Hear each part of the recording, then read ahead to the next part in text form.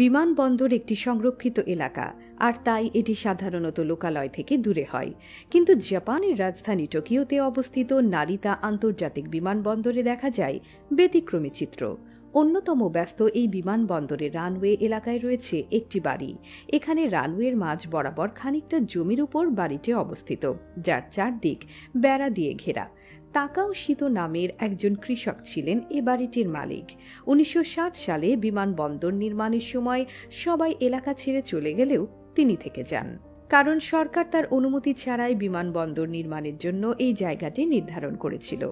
জমির মালিকের সাথে আলাপ না করে গুরুত্বপূর্ণ স্থাপনা গড়ে তোলার সরকারি সিদ্ধান্তকে কিছুতেই মেনে নিতে পারেননি তিনি। তাই বাড়িটিকে অক্ষত রেখেই নারিতা আন্তর্জাতিক বিমানবন্দর নির্মিত হয়।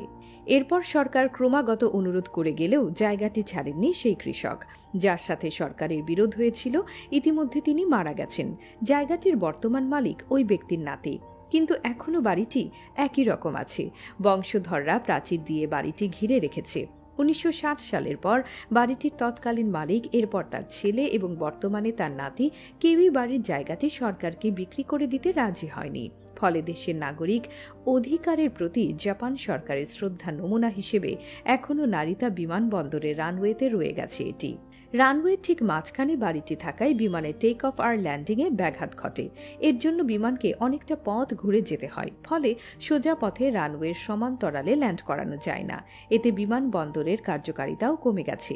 নারিতা বিমানবন্দরে এখন প্রতিদিন প্রায় সাতশোটি বিমান ওঠানামা করে। কিন্তু রানওয়ের মাঝখানে বাড়িটি না থাকলে দিনে বারোশো থেকে পনেরোশোটি বিমান ওঠানামা করতে পারত।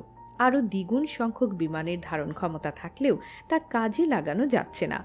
বাড়িটির জায়গায় আরও একটি রানওয়ে বানানোর পরিকল্পনা ছিল। সেটা সম্ভব হলে দৈনিক আরও সাতশোটি বিমান ওঠানামা করতে পারত। শুধুমাত্র এ কারণে জাপান সরকারের আর্থিক ক্ষতিও হয়েছে প্রচুর।